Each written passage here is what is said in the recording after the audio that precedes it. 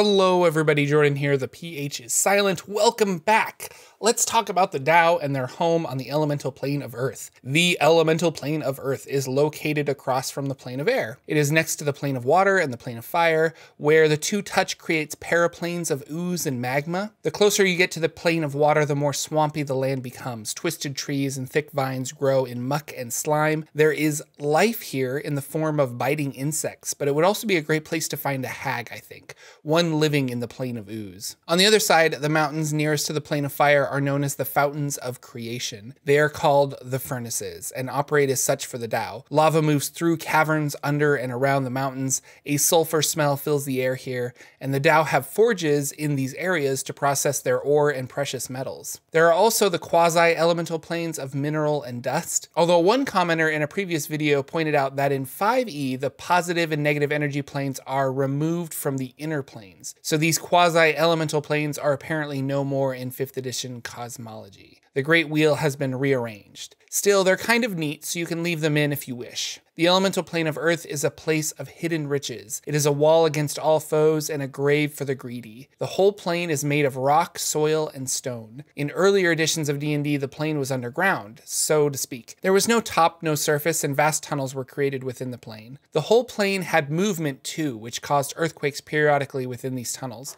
sometimes collapsing them. It is hostile to life, but not aggressively hostile like the plane of fire. The plane of Earth is uncaring and unconcerned about life in it and around it. In 5th edition, the plane of Earth is a chain of mountains rising higher than any mountain range on the prime material. There are caves and plenty of the creatures that live here burrow and move underground. Each type of rock, soil, mineral, metal, ore, sand, and dirt can be found in the elemental plane of Earth. Mining is difficult here, and the Dao seem to be the only creatures that have been largely successful in their mining operations. The harsh conditions don't stop future dwarves or humans from trying to get riches from the plane of Earth. Earth elementals are the most numerous creatures that live in the plane of Earth. Animated crystal golem type creatures also roam about, as well as Xorns. These creatures can move through the earth like a fish through water, rock wrapping around them so as they move, they leave no tunnel. Not native other intelligent creatures have migrated to the plane of Earth, like dwarves, copper dragons, gargoyles, mephits, stone giants, and others. The most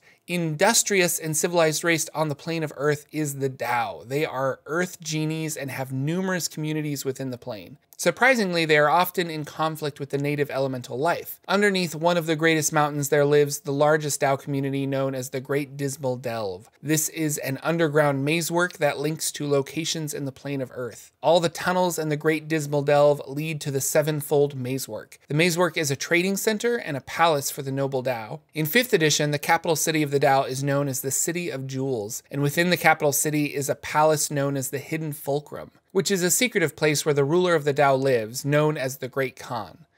Kabril Ali al Sarah al Zalazil rules the Dao with a keen eye and an iron heart. He is also known as the Fountain of Wealth, the Perfect Compass, the Stone Sultan, and the Master of Traders. The Great Khan is a little large and fat for an Earth genie, but he has a quick wit which has gotten him this position. The city is made from precious stones and metals, including gemstone inlaid spires that top most buildings. It can be difficult to secure a meeting with the Great Khan. Nobody is sure where the hidden fulcrum is, not even the noble Dao. A gift or bribe to the right Dao could be enough to get you a meeting, roughly anywhere from 10,000 to 80,000 gold pieces. After accepting the bribe, it may still be a month before you visit, and even then you are blindfolded and led through the maze work for several hours. This confuses the visitor so they will not be able to backtrack and locate the Great Khan. The Dao have little sympathy for anyone but themselves. They are mostly concerned with profit. Travel and trade are always motivated by riches. They will steal and lie to obtain riches or information on riches, but rarely go to war. Stealing from a Dao in the City of Jewels can result in death there is powerful magic that alerts the Dao if any gems go missing, and each of the gems and items the Dao have collected have a magical stamp on them declaring it the property of the Great Khan. A simple detect magic spell can reveal this marking.